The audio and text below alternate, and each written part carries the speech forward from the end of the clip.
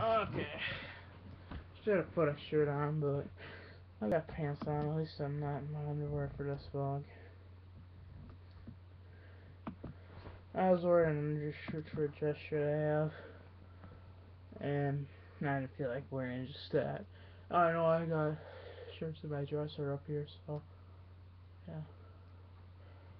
Yeah, what you're seeing in the background here is a John Deere I got a while ago. Mom put together and glued together. There's pieces on the corners. I'm sure they're on the floor under my bed.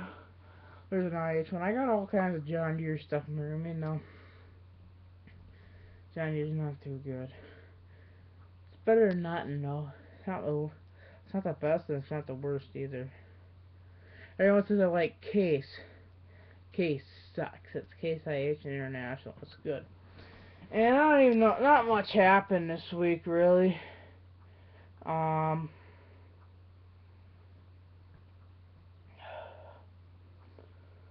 what happened was, um, Friday's actually International Guys Can Wear Dresses today. That's just something to say. Um, milk cows. I've been feeding the calves a lot lately. And I've been playing Farming Simulator lately. All kinds of stuff. Tonight we were milking.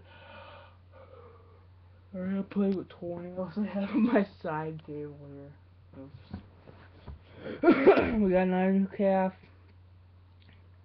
One drink, so my dad had to pipe it. He showed me how to do that. And yeah, I have two new calves fed the milk from the, their mom. They're twins, two heifer calves.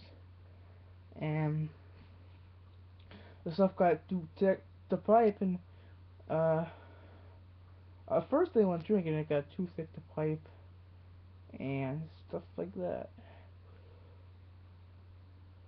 I don't know for sure. And then we I don't know what all happened. I left in the middle of it. And been busy with school, almost done with school. Um, went on a field trip to NWTC and UWGB in school. And yeah, I got a video on the bank, by the way. I did a crop update video on Friday. That was actually International Guys Can Wear Dresses today. I did wear a dress before. it was my mom, if you heard her. And what I thought about doing is since um uh um I don't I only have a 10 minute limit with my screen recorder that I have. I remember I always used Ezvid and I, I liked it, but it just didn't look professional. That's why I have a different one. It was Easy with Ezvid just didn't look professional. Other than that, I loved it, but I just thought it'd be worth having a different one at a 10 minute limit and all that, just to um, uh, yeah, make videos. I, would rather have Ezvid. What I thought of, because I know I can get into the files on Ezvid, and I know there's a video files and audio files in there, I think. And I probably put it together or something, I don't know. But it just doesn't look professional. I could put the video file, the audio file in there, and crop out that beginning part, and then part where I have to click and stuff. Just cut all that out. That's what I have to do.